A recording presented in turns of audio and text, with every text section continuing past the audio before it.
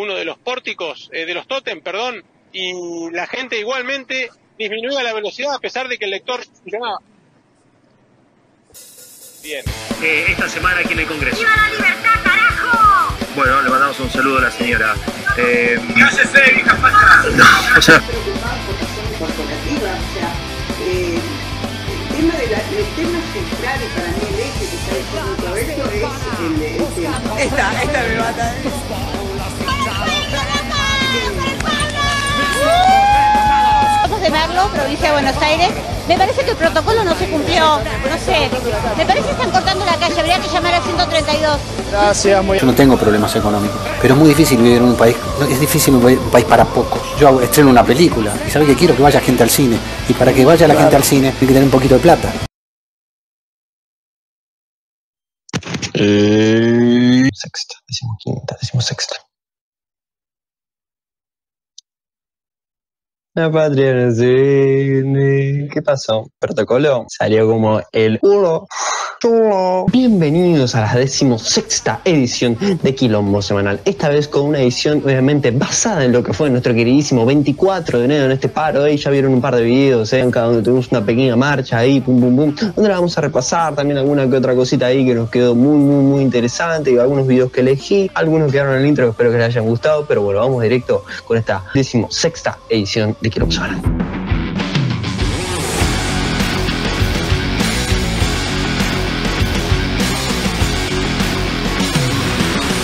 Pero por más que hayan sido 40.000 personas y que haya habido gente de Bariloche hasta en Tierra del Fuego, hasta Ushuaia y en todos lados, por más, por más que haya habido muchísima gente, 40.000 personas en Cabas no es nada porque supuestamente para Dorni y para todos los medios no representan ni están a comparación con lo que representa supuestamente el ejército de Milei. Así que las fuerzas del cielo son incomparables. Así que como dice Adorni, estamos en el lado incorrecto de la historia. Vemos que hay gente del lado equivocado de la historia y eh, haber anunciado un paro a los poquitos días de haber asumido el gobierno, de hecho entiendo que fue el anuncio de paro más rápido historia de la Argentina que ha hecho el del sindicalismo, en este caso de la CGT. Así como Adorni amenaza, así como muchos libertarios amenazan, obviamente Milei sigue amenazando. Así que amenazó a las provincias de dejarlos sin presupuesto y dejarlos secos si no están de acuerdo con el tema de la ley Omnibus. Y eh, mm, me parece que alguien le respondió y le dijo que encima un gobernador de Junto por el Cambio en Chubut le dijo que si se hace el gil te corto el gas. Así que ja de joder. Y este país, este país se saca adelante laburando, laburando. Esta muchacha se puso en su piel de libertaria máxima y enfrentó a una chica de la CGT. ¡Loco, vayan a laburar! ¡Yo laburo todo el día! ¡Yo laburo todo el día! ¿A qué te dedicas? ¡Cuatro horas! ¡Hace cuatro horas! ¿Por qué no trabajo? ¿Vos sabés que yo no trabajo? ¿Vos sabés que yo no Ah, pará, pará, ¿podemos, ¿podemos conversar bien? ¿A qué te dedicas? Soy empleada de comercio. ¿Qué pasaste? ¿Quién te crees que sos para venir? Yo laburo. ¿Cuatro años? ¿Cómo laburo? ¿Cuatro años? ¡Cuatro años tuvieron para hacer paro y ahora! ¿Vos no estás? Primero que nada tengo calor. Fuera gorro. Bueno, según para el universo de esta chica, la gente que está ahí no trabaja. Son todos vagos. Nadie. La pala no la conocen. Ahí Tont paga. Lo único lo que tiene razón es que tuvieron cuatro años para hacer paro y el paro llegó un poquito tarde, ¿eh? como dijo Facundito Moyano ahí que tiró la piedrita. gobierno de mierda de los últimos cuatro años. Porque si no hubiese sido ese gobierno con tantas malas decisiones y si este paro hubiese sido hace dos años, la situación de los trabajadores no sería esta y Milei no sería presidente. Hace dos años dijimos, están haciendo todo para que vuelva a la derecha. Hoy está Milei. Pero después nuestro queridísimo Moyano Godfather ¿eh? respondió que no le hace caso a la farándula.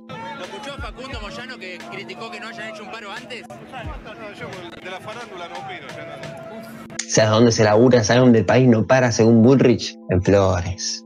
Estoy en Flores, todos los locales abiertos. El país no para. El país que hace Vamos a seguir trabajando. trabajando. Trabajo para que Así es. ¿Qué hace el país? Trabajando. Así es. Ya, por último, para ir cerrando en este queridísimo quilombo, voy a hacer un pequeño análisis, un pequeño análisis fuera arriba, hacer un par de comentarios de lo que fue este operativo policial perfecto, donde los medios en un momento, crónica, además yo, me, yo fui a la marcha, en un momento me senté en un pequeño barcito a comer algo, ¿eh? y los medios decían que el operativo antipiquetes estaba siendo un éxito, que estaba funcionando genial, y me parece que yo, al menos en mi experiencia, lo que vi fue un desastre. Lo que yo vi, porque yo estuve cerca del Congreso, fui, estuve por la plaza, que es el Congreso, que es Entre Ríos, ¿eh? hicieron tratando de meter, ahora voy a poner imágenes acá, porque yo estuve ahí, saqué fotos, y trataron de meter un perímetro de policías que supuestamente cubriera la calle Congreso con todas las organizaciones que estaban ahí, la UTEP, la CGT y todo lo demás, pero en realidad no sirvió de nada, no sirvió de nada, porque del otro lado de ese perímetro estaba lleno de gente que también estaba dando vueltas, no tenía ningún tipo de sentido, entonces el operativo fue muy, muy malo, sé que en Pueyrredón cordaron todo para que supuestamente la gente no pase, pero después dieron toda la vuelta y pasaron por el puentecito, puentecito de la boca, entonces fue un desastre, fue un desastre, la gente llegó igual, así que no sé qué es lo que hicieron hacer, no sé que no sé qué es lo que dicen que hicieron bien, porque la verdad, ni idea. La demostración de que encima el operativo estuvo muy mal hecho es este video.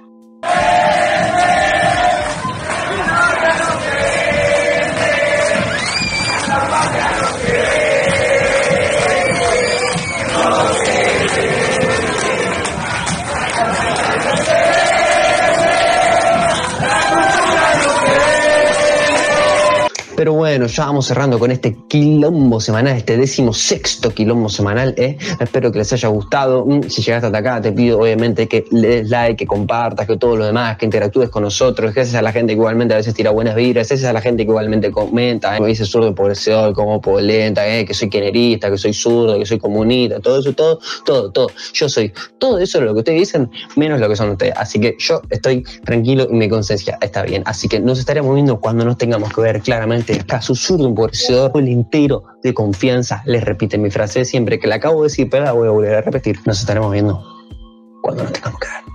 Y colaborar con Resistencia.